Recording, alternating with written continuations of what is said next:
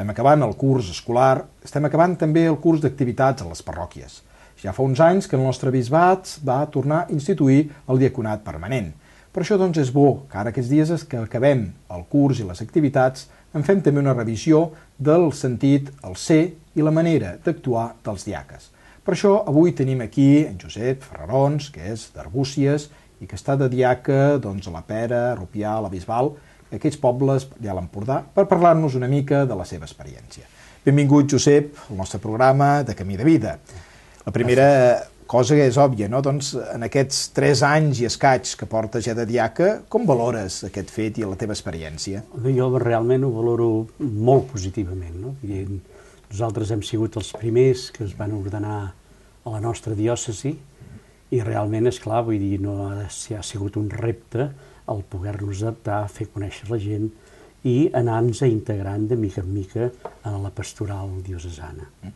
Això és dir, tu ets com una mica com un repte, no? Perquè, és clar, dius, vosaltres vau ser els primers, no hi havia, llavors s'han hagut de trencar molts esquemes i molts de motlles, no? També. Eh, bé, jo vaig venir abans de ser d'estar aquí a Girona, vaig, vaig estar una temporada a Bolívia i eh, vivíem diaques permanents. Mm Aleshores, ella, aquell fet va ser el meu començament i la meva, diguem-ne, refermar la meva vocació en aquest camí. I just a l'arribant aquí em vaig trobar doncs, de que el bisbat doncs, havia començat aquesta, a promoure el diaconat permanent. Aleshores em va ser possiblement més fàcil el veure doncs, què feien aquests diaques en aquells països. Perquè, clar, la primera cosa diu, què fa un diaca, exacte, no? Què fa un diaca? Perquè, esclar, dius, eh, un capellà tenim ja una tradició, no? Però, i un diaca, què fa? Però un diaca, tal, és un ordenat, sabem que les tres ordenacions de l'Església Catòlica són l'episcopat, el, el prevere i el diaca. Per tant, són tres ordres majors que hi ha, no? Aleshores, eh, entre el diaca, el diaca doncs, que la seva missió principal doncs, és assistir, tal com diu la mateix, vol dir la mateixa paraula, diaconia, doncs, que vol dir servei. Servei a la comunitat, servei en el prevere i servei d'una manera especial al bisbe de la teva diòcesi que has de doncs, ser fidel eh, seguint doncs, tot el que realment et mana.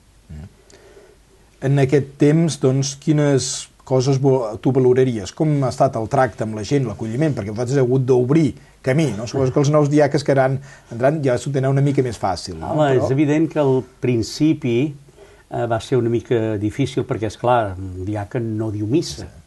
I aleshores aquí hi ha un punt important.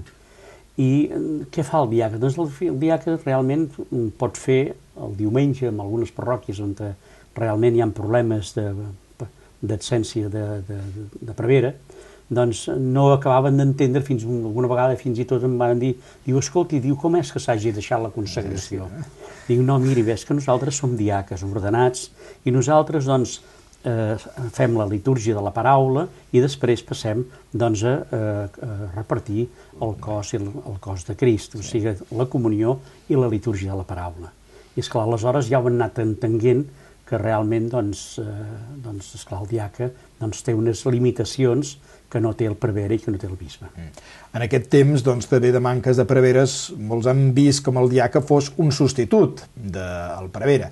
D'això, però no és ben bé això, sinó que penso que és, potser seria un complement a, a l'acció del prevere i a l'acció també de la comunitat. Sí.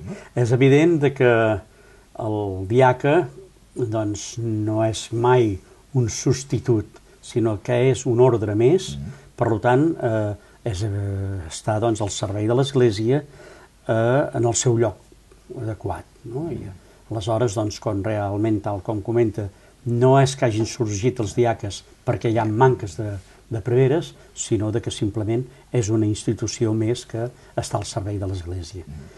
Evidentment, en aquests moments en què hi ha manca de sacerdots, de preveres, la nostra feina potser és més, és més efectiva. I es nota més, Es nota més, diguem-ne, es nota sí, més. Sí, sí, això.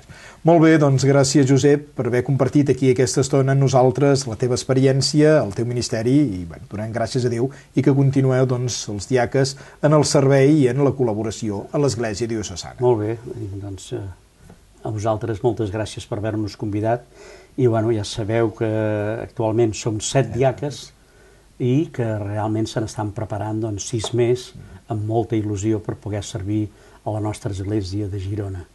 Gràcies.